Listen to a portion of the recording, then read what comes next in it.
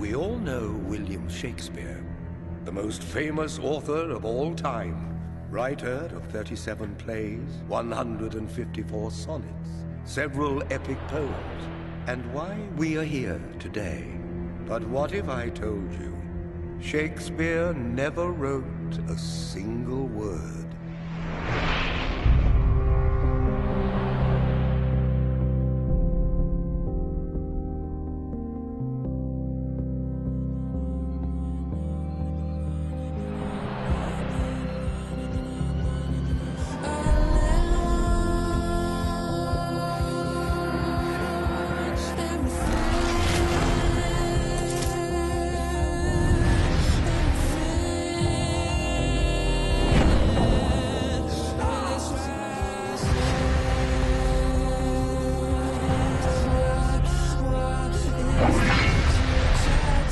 You are the soul of the age.